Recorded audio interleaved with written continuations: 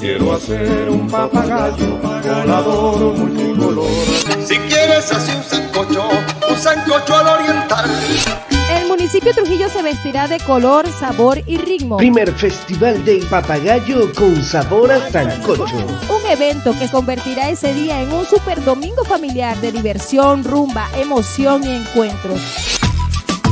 Concursos, grandes premios, música en vivo. Talleres, payasos y actividades para nuestros niños y niñas. Brinca, brinca y levanta la manita. Baseball Live. Expoferia de emprendimiento con nuestros potenciales empresarios.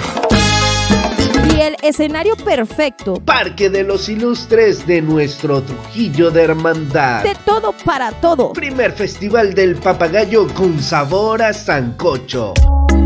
Domingo 31 de julio, Parque Los Ilustres. Desde las 9 de la mañana. Atentos a las bases de los concursos y competencias que serán publicados a través de Castán 98.3 FM y sus redes sociales. Te esperamos en familia. Invita a la Fundación Comunitaria Timoto Cuicas. Castán 98.3 y la Alcaldía de Trujillo.